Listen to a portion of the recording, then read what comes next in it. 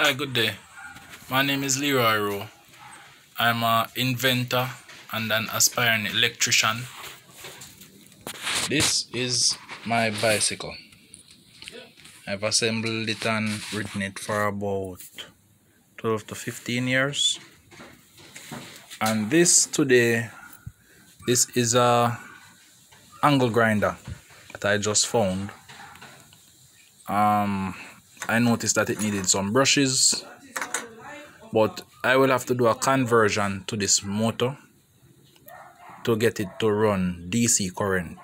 Even after the brushes are repaired I'll have to get it to run DC current by changing out this induction set for either 2 or 4 permanent magnets while just passing current into the motor through the repaired brushes to spin it at a higher much much higher rpm than than previous. Um, this is the old ac control switch. It's not really of much use to me now. I'm going to use a different module.